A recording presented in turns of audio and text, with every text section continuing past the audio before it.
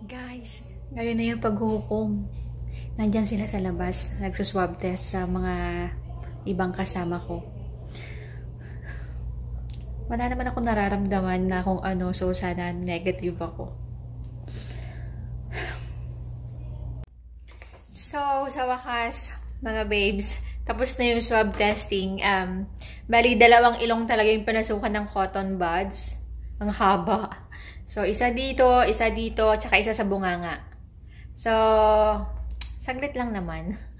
Tapos, ano, kailangan lang doon dalhin ay yung ating passport at yung pinaprint natin na uh, niregister natin online sa ano, 'di ba, sa Red Cross. Tapos pinaprint natin 'yon.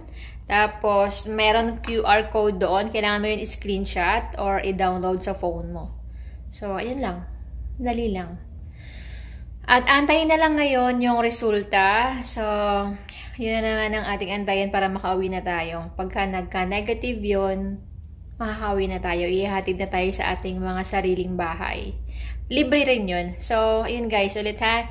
Yung swab testing, yung accommodation, tsaka yung transportation mula pagkababa ng airport hanggang sa bahay natin um, libre po ng OWA. Libre po yun ng government. So, good. Thank you so much po. OWA and BOQ.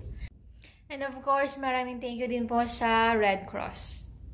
Sa mga staff, lahat ng mga tumutulong sa aming mga OFW, maraming thank you po sa inyong lahat. So, ayan, time to relax na ngayon kasi nga tapos na yung swab testing at ang resulta na lang ang aantayan. Look at that, guys. Panglimang araw ko na ngayon dito at nawa ko lang napansin na ang room rate nito ay 4,125 pesos.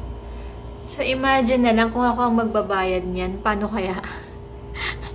Ayoko, ayoko nang tumira dito kung ganyan lang din kamahal. So, maraming thank you po talaga sa government na tumutulong sa OWA, BOQ, sa Red Cross, sa presidente natin at sa mga nag-sponsor po sa amin. Maraming thank you po talaga. It's a big help po. Mabuhay po kayong lahat. So, thank you so much po sa panonood mga babes at good luck po sa mga uuwi. Paalam! See you po sa next video.